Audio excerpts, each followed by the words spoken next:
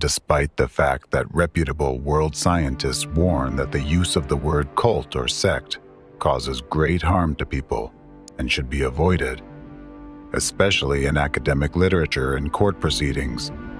Representatives of the anti-cult movement continue to actively exploit this label and propagate it through the media, turning magazines and newspapers into mouthpieces of their hateful rhetoric. When claiming that someone belongs to a cult or a sect, anti-cultists base their accusations not on academic papers or legal investigations, but on their own dubious and abstract concept of brainwashing. This idea has no scientific ground and is extremely vague. Nevertheless, exactly on the basis of the unreliable concept of brainwashing, anti-cultists label targeted groups and organizations as cults or sects. Brainwashing is an unscientific concept where the so-called cults and sects are accused of rigidly controlling the consciousness of their participants, which is why people can allegedly turn into zombies due to manipulation of their beliefs, thoughts, and behavior.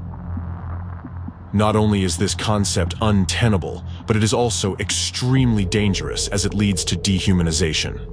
When society believes that an individual has been brainwashed, people stop regarding him as a sane individual. Instead of a human with his own thoughts and decisions, others begin to perceive him as a zombie or a puppet. Meanwhile, with such a perception of a person or a group of people, it is much easier to use violence against them.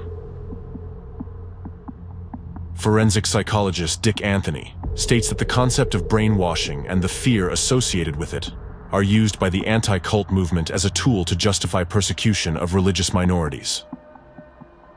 The court determined that the concept of brainwashing cannot be applied as a legal charge since it is untenable and unscientific. However, despite this, American anti-cultists continued to actively promote the concept of brainwashing